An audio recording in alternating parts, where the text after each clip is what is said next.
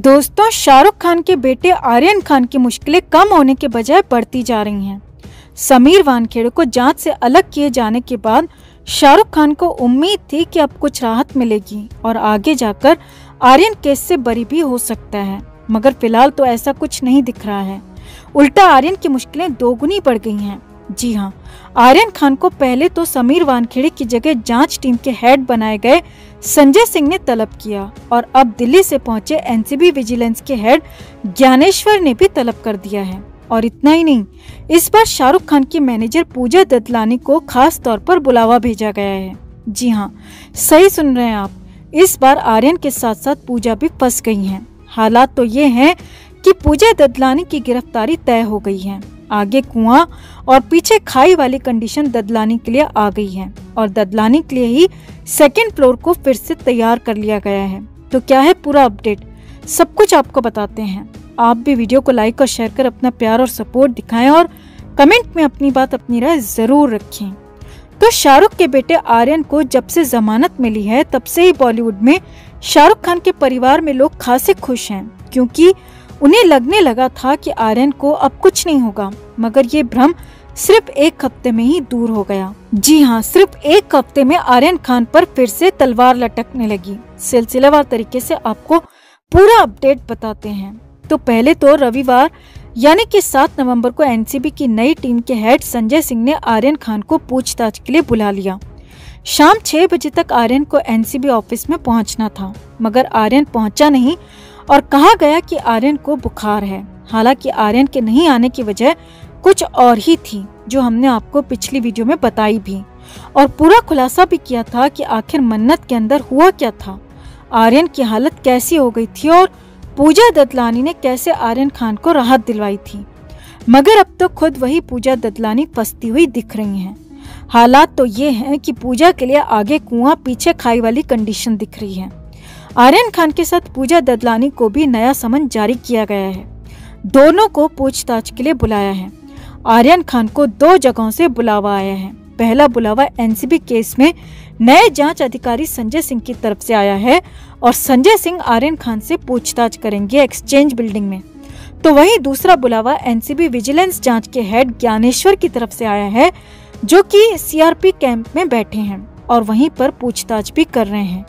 ज्ञानेश्वर की तरफ़ से पूजा ददलानी को भी बुलाया गया है। जी हाँ किरण गोसावी की तरफ़ से 25 करोड़ की डिमांड की जाने के मामले में लगातार नए अपडेट्स आ रहे हैं और इस पर अब ज्ञानेश्वर ने पूजा ददलानी को बुला लिया है।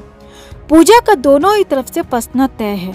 जी हाँ पूजा ददलानी दोनों तरफ़ से फंस गई हैं। अब अगर पूजा ददलानी ये मान लेती हैं कि उन्होंने या फिर उनकी टीम की तरफ़ से किरण गोसावी को 50 लाख रुपए दिए गए और बाकी के करोड़ों रुपए देने की डील भी हुई थी तो पूजा ददलानी पर गवाहों को खरीदने या फिर केस को प्रभावित करने का चार्ज लग सकता है, और तब की कंडीशन में तुरंत ही मौके पर ही पूजा ददलानी को गिरफ़्तार कर लिया जाएगा। ये बड़ी खबर आपको बता रहे हैं कि अगर पूजा दतलानी पर जाँच को प्रभावित करने और खरीदने का चार्ज लगता है तो देरी नहीं होगी गिरफ्तारी में। और दूसरी कंडीशन ये है कि अगर पूजा दतलानी पैसे देने से या फिर किरण गोसावी के साथ किसी भी तरह की डील से इनकार करती हैं तो फिर पूजा ददलानी यहाँ पर भी फंस जाएँगी, क्योंकि तब की कंडीशन में आर्यन खान का केस बेहद कमज़ोर हो जाएगा। यानी कि तब आर्यन को फिर से जेल जाने की नौबत आ सकती है। आर्यन की सजा भी लंबी हो सकती है, अगर दोष साबित होता है तो। यानी कि पूजा ददलानी के लिए आगे कुआँ है तो पीछे खाई वाली कंडीशन है। अगर डील को मान लेती हैं तो खुद जेल जाएँगी। अगर डील को नहीं मानती हैं तो आर्यन खान जेल जाएगा। ऐसे में मामला बेहद संगीन हो गया है। पूजा ददलानी खुद बुरी तरह से फंस गई हैं कि वो अब करें तो करें क्या? फैसला लें तो लें क्या? और बोलें तो बोले क्या? यही नहीं, ज्ञानेश्वर तो ये भी प्लान कर रहे हैं कि पूजा ददलानी और आर्यन खान को एक साथ बिठाकर पूछताछ की जाए जिससे साफ़ हो सके कि पूरा मामला आखिर क्या है। और किरण गोसावी के साथ साथ प्रभाकर सैल जैसे प्राइवेट गवाहों को भी आमने सामने बिठाकर पूजा ददलानी से सवाल जवाब हो सकते हैं। तो कुल मिलाकर शाहरुख खान के बेटे को बचाने के चक्कर में पूजा ददलानी खुद फंसती हुई दिख रही हैं और पूजा को अब खुद को बचाना तक मुश्किल हो रहा है।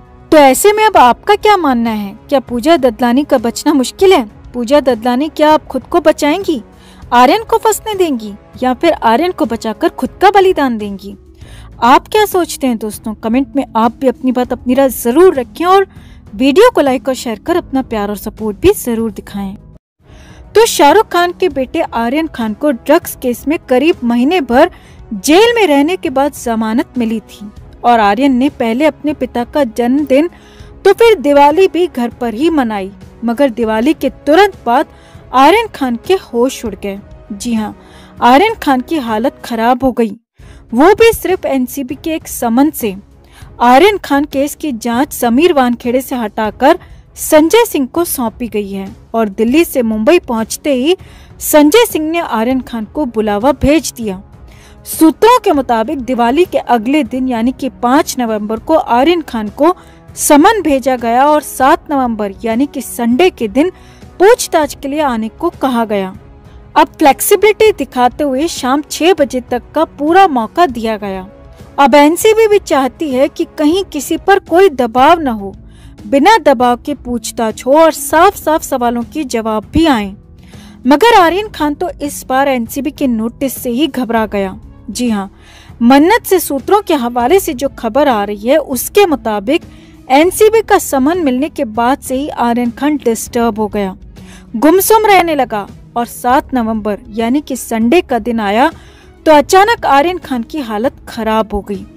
सूत्रों के मुताबिक आर्यन अपने पिता शाहरुख से कहने लगा कि उसे एनसीबी ऑफ़िस नहीं जाना है, वो वहाँ नहीं जाएगा। और शाहरुख भी आर्यन को समझाते रहे कि कानून के मुताबिक काम करो, तुम्हें कुछ नहीं होगा, मगर आर्यन का डर पिता के समझाने के बाद भी कम नहीं हुआ। यहाँ तक कि शाहरुख खान ने खुद आर्यन से पेशकश कर दी कि वो भी आर्यन के साथ एनसीबी ऑफ़िस जाएँगे। पूछताछ के दौरान वहीं बैठे रहेंगे और इसीलिए चिंता की कोई बात नहीं है। मगर आर्यन खान यहाँ भी नहीं माने। आर्यन की हालत ठीक नहीं हो रही थी और खबर है कि जैसे जैसे दिन आगे बढ़ता गया, आर्यन खान की हालत बिगड़ती गई और दोपहर के बाद आर्यन ने खुद को बेडरूम में बंद कर दिया। अंदर से दरवाजे को लॉक कर दिया। जी हाँ सूत्रों के हवाले से ये बड़ी खबर आपको बता रहे हैं कि आर्यन खान डोर खोलने के लिए तैयार नहीं हुए और एनसीबी ऑफ़िस नहीं जाने की जिद करने लगी। अब शाहरुख को पता था कि एनसीबी का समन आया है तो जाना तो पड़ेगा और सवालों के जवाब भी देने ही होंगे, लेकिन आर्यन मानने को तैयार नहीं था। सूत्रों के मुताबिक आर्यन खूब रोया। शाहरुख से कहता रहा कि वो नहीं जाएगा, लेकिन शाहरुख भी लगातार आर्यन को कहते रहे। कि उन्हें एनसीबी ऑफ़िस जाना चाहिए। अब सूत्रों के ही मुताबिक शाहरुख खान की मैनेजर पूजा ददलानी ने यहाँ पर मोर्चे को संभाला और पूजा ने सीधे एनसीबी ऑफ़िस में मैसेज भिजवाया कि आर्यन की तबीयत ठीक नहीं है, आर्यन को फीवर है और इसीलिए आर्यन खान आज पेशी में नहीं आ पाएगा, पूछताछ के लिए नहीं आ पाएगा और एनसीबी को आगे किसी दिन रिपोर्ट करेगा।